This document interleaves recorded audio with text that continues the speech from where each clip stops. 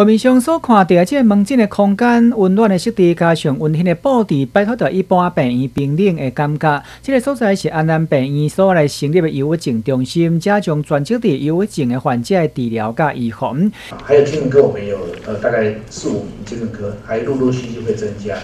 那所以呃，其他的社工团队等等都是有有这个呃能力来做这件事情。那我想这个是我们的一个里程碑，因为我们从了身心以后，会往身心灵上面会去一个 promote。根据着统计，台湾曾经是忧郁症中心盛行率上低国家。不过，忧郁症通常是症状严重，才会被带来看医生，往往是延误了治疗的时机。而且，忧郁症中心的成立，以着治疗甲预防为目标，将提供着患者多元的正确的治疗模式。事实上，我们这样讲，可能有有很多人。会觉得说，哎呀，我要看这个忧郁中心，不好意思哈，我呃不要让人家知道。这个我想这个是，